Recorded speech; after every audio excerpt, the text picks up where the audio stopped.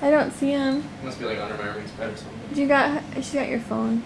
She'll slobber in the and you won't be able to hear out of it. Like mine. That's what mine. I can't hear. Can I have that? Share? Share?